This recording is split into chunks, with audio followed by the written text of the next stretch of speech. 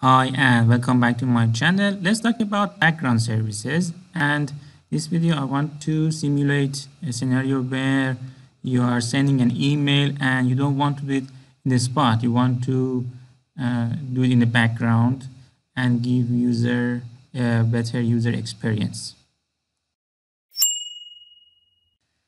The scenario is like this. Uh, user registers in your application and you want to send a confirmation email or anything happens in your application, you want to send a notification in the background um, because it's an async operation and it might take time. And there are two ways to do this. First is you make user wait uh, for your um, email to be sent or your async operation to be end and then you redirect the user to a new page. Uh, right now I have a hello world message. I am going to send this and this is going to be sent using an email but I'm not doing it in the spot directly. I am sending that message in a, in the background using a, a queue. I have a queue and I add this message to that queue. And when the time is right hopefully in less than a mm, couple of seconds uh, the queue will be uh, read by a background service and the email would be sent. So what exactly is happening in my project? Sending email in my project deliberately takes um, two seconds. I have, I I'm not actually sending emails, but I am making user wait for two seconds or we can change it to three seconds. It doesn't matter really. So i'm making user to wait three seconds before email gets sent. But as you saw in my code in my application user didn't wait three seconds. It was instant when uh, user decided to uh, send an, a new message instantly user redirected to new page. And if I check my logs uh, I can see here that email was sent later a couple of seconds later uh, and I am doing it right here. So how I uh, went from my razor page from this part of my application to a background service code uh, that is running in its own thread. Obviously, I need some kind of messaging or some kind of queue to signal the background service that I am doing something and uh, it has to take care of that. So to do that, I created an interface and the only thing in that interface is uh, a queue. A queue that takes a string uh, as my message and keeps it. Uh, and I have another uh, class that inherits from this interface implements the um, queue uh, instantiate the queue and then I can add items to this queue. Also I make sure that I am using singleton dependency injection uh, for this task job because I don't want a new instance of my task job with every new request. Uh, I'm going to have one queue for the whole uh, life cycle of my application. And then I have a background service is inheriting from background service class and here I'm injecting it. I'm also injecting in a logger because I'm going to log things in the background. And uh, here I have an execute async method which is common with uh, background services and overriding this method. So this is nothing new. You have this method implemented in background service and if you want to change the behavior you override it like this and I have an infinite loop. I'm just uh, looping through uh, um, every uh, every second delaying one second between each loop and checking the queue if anything new is in the queue I am dequeuing that item and sending the email. As you can see this is working uh, pretty fine actually because uh, I can always go to this part of my application uh, send a new message and I think I have a um, yes. And my message will be sent in a couple of seconds exactly three seconds later. Now exactly three seconds later because it takes three seconds to for an email to be sent in my application. So that's a great implementation. It works but it has some problems because I'm not taking into account that uh, this is a concurrent situation. Uh, multiple users can use my this page at the same time and multiple users will be adding items to the same queue and uh, because it's not concurrent or say thread safe um, it uh, creates a lot of problems. And some of my uh, my messages could not be queued uh, let me show you an example.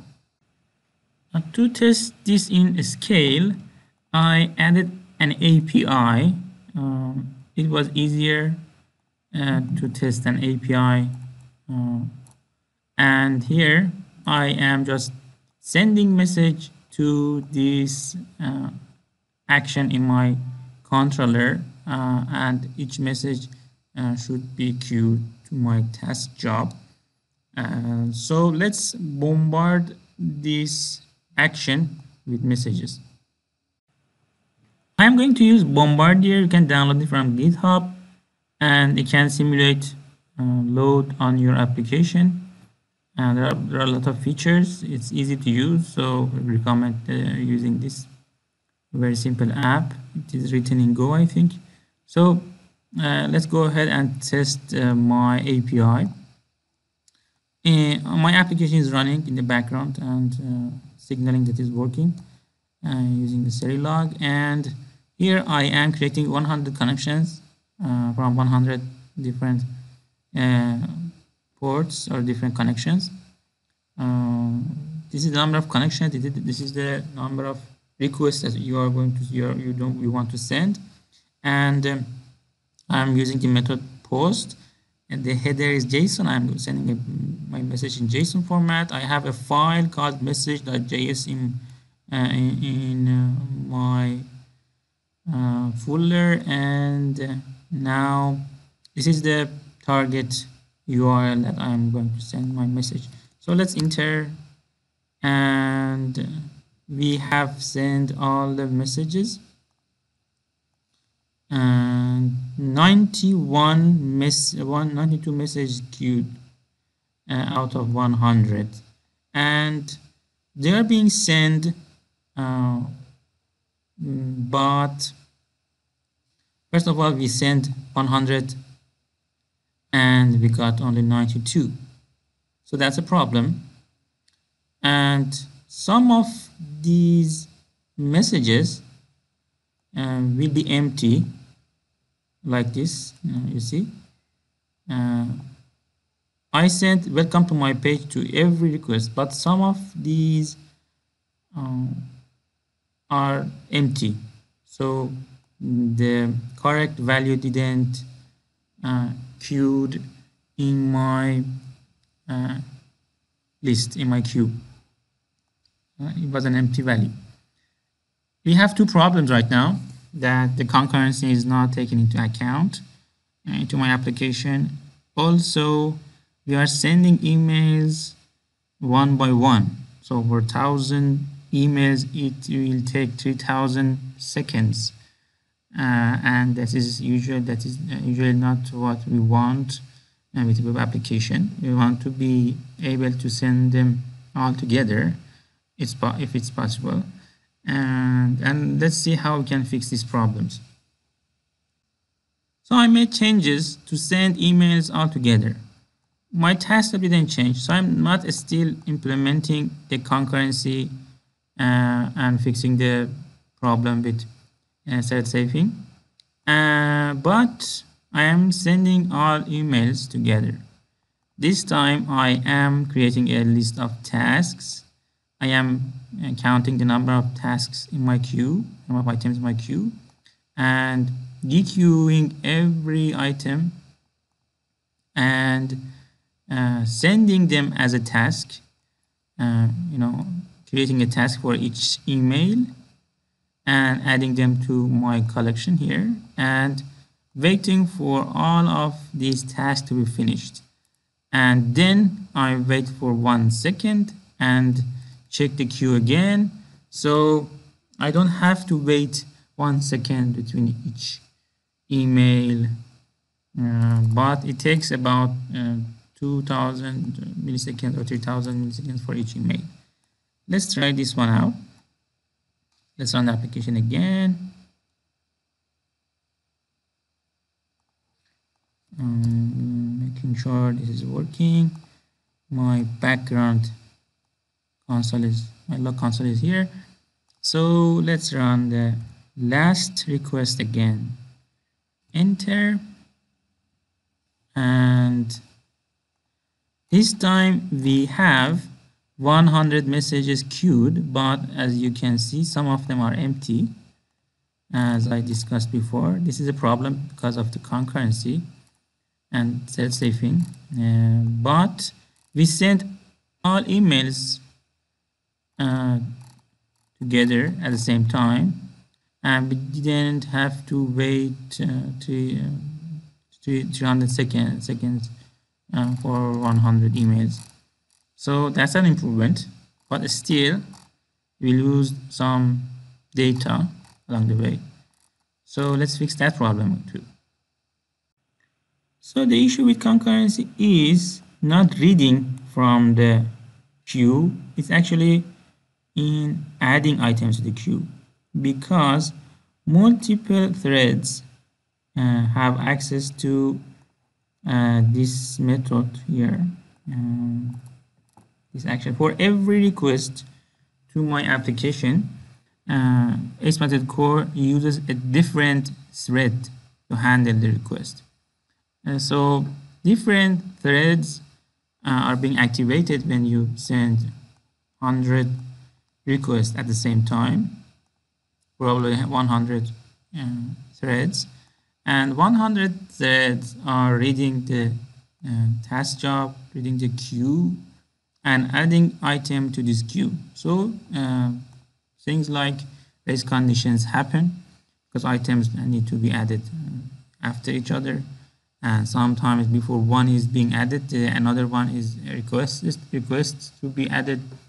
Something like that they they race for being queued and uh, the weird behavior that we see happens along the way so to fix this there's an easy solution uh, for our simple application and that is using the concurrent queue. So I can just change my uh, branch um, uh, let's ignore these changes. Just change the um, seconds value um, but let's go to my concurrent implementation in my concurrent implementation uh, let's disable the whole project in my concurrent project uh, my concurrent uh, implementation, I just changed the queue from being a simple queue to concurrent queue. And concurrent queue manages the thread, threads and makes sure all items are being added correctly. So I don't have to care about the threading issue or concurrency. And that's that problem solved. And as you can see, nothing changed here. Nothing changed here. It's the exact same code I'm just having the same collection of tasks, adding items to that collection and sending all of them at the same time. Uh, I can also go here and change the delay, 3 seconds, 5 seconds, it's a simulation. So let's run the application again.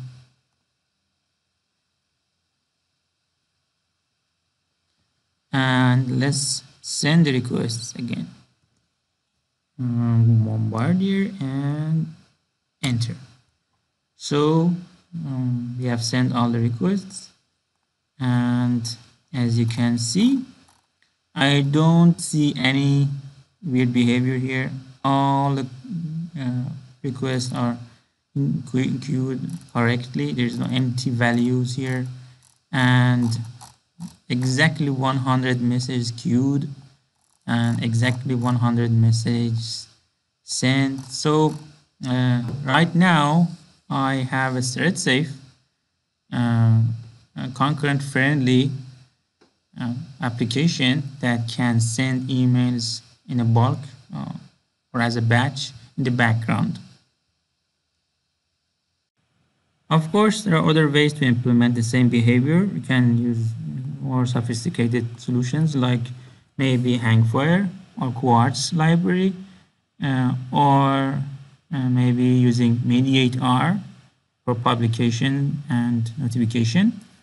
Uh, but I tried to have a very simple code with a, the same libraries and tools that uh, exist right inside the .NET Core itself. So that's my demo for today. Thanks for watching. If you have any questions, please uh, put a comment down here and can download the source code from my GitHub. Uh, see you soon.